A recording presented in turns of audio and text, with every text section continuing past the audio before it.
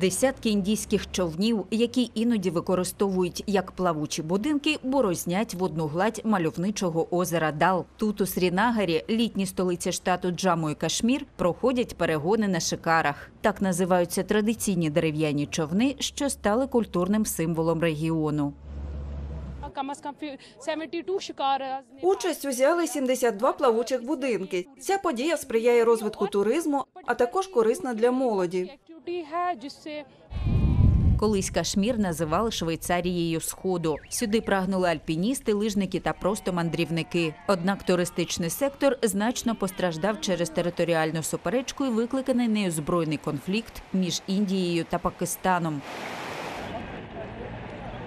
Влада прагне знову оживити туристичну індустрію. Раніше вона була найважливішим джерелом доходу. जी हाँ ये ऐसे ऐसे इवेंट्स हर साल होने चाहिए Такі змагання потрібно проводити щороку. Це дуже добре для нас.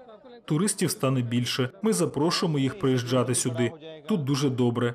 Кашмір дуже красивий. Обов'язково потрібно побувати на озері Дал. कश्मीर में यहाँ पे घूमे फेरे Шикари використовують рибалки та місцеві селяни, щоб добиратися до своїх плавучих садів. На цих унікальних човнах також катають туристів.